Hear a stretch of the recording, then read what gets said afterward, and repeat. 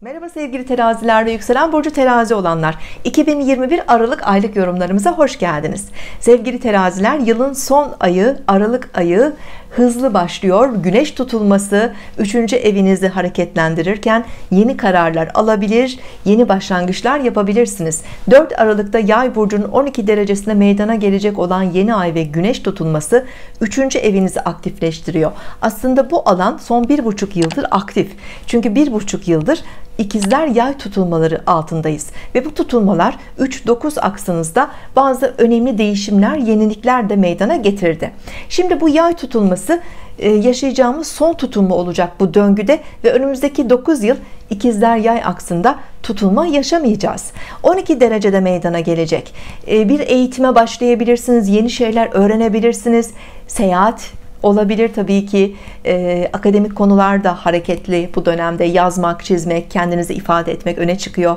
İletişim sosyal medya internet üzerinde her türlü aktivite her türlü eğitim ve öğretim çalışması. Yakın çevre ilişkilerinizle ilgili bazı yenilikler olabilir. Kardeşlerinizin hayatında bazı kapılar açılabilir. Lütfen kişisel doğum haritalarınıza bakınız. Özellikle güneş burcunuz ve yükselen burcunuz. 12 derece ve yakınlarında mı? Eğer böyleyse daha güçlü tesirler alabiliyorsunuz. Haritalarınızda değişken burçlarda ikizler yay başak balık burçlarında gezegenleriniz bulunuyorsa bu bahsettiğim tesirler daha güçlü ve etkili bir şekilde çalışabilir tabii ki. Üçüncü ev konuları çok hareketlidir ve çok yönlüdür. Yakınlarımızdaki kişiler komşular kardeşler akrabalar iş arkadaşları da bu kapsamda. Dolayısıyla iletişim artıyor haberleşme artıyor seyahatler artıyor. İşle ilgili seyahatler olabilir işle ilgili eğitimler olabilir. Kişisel gelişim için bazı eğitimlere katılabilirsiniz. Kendinizi geliştirebileceğiniz yeni şeyler öğrenebileceğiniz zihinsel anlamda entelektüel anlamda e, hızlı bir dönem başlıyor. Sizin için sevgili teraziler. Evet bu etkiler bu ay devam edebileceği gibi tutulma olduğu için e, en az 6 ay sürebilir ve önümüzdeki Nisan sonu Mayıs'a kadar da bu tutulmanın tesirleri hayatımızda devam edebilir.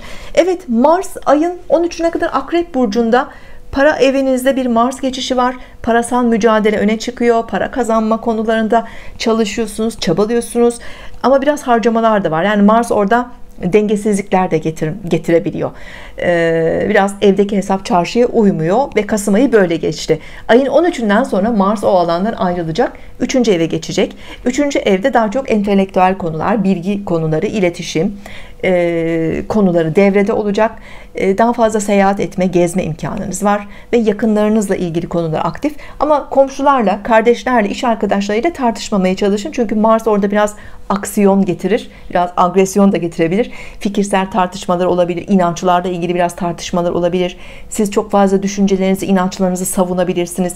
Karşı tarafla bu anlamda gerilimler olabilir. Bunları iyi idare etmek gerekiyor. Ayın 19'unda ikizler burcunun 27 derecesinde dolunay meydana gelecek ve sizin 9. evinizi aydınlatacak. Size güzel keyifli bir açıda bu dolunay Jüpiter'in de güzel bir desteği var. Ee, bu dolunay ufkunuzu geliştiriyor bakış açınızı geliştiriyor vizyonunuz geniş hedeflerinizi büyütebilirsiniz artık. Biraz sınırlarınızın dışına çıkabilirsiniz. E, Dolunaylar evet duygusal farkındalıklar getirir ama hayatımızda bazı dönüm noktalarıdır ve bitişler tamamlanmalarla da alakalıdır. Belki bir eğitimi tamamlayacaksınız ya da eğitimle ilgili bir karar vereceksiniz.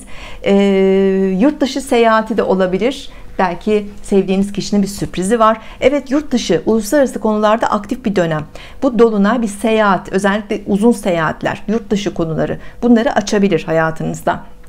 Ya da akademik alanda bir karar verip bununla ilgili adımlar atabilirsiniz. Hukuksal işlerde de hareketler var. Şanslısınız bir davanız hukuksal bir işiniz varsa güzel bir Jüpiter desteği altında bunu çözebilirsiniz büyük oranda.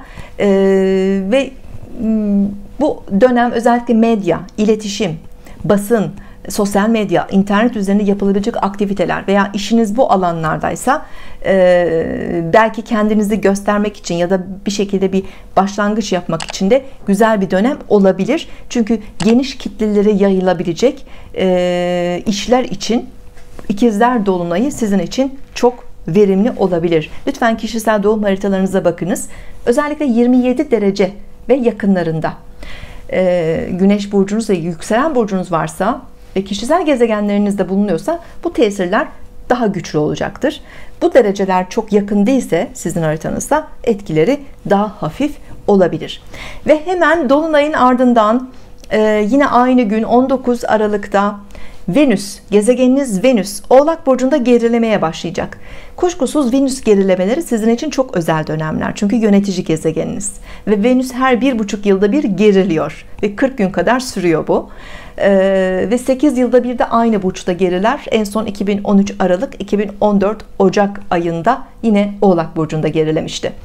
Ee, dördüncü evinizde bir Venüs gerilemesi söz konusu.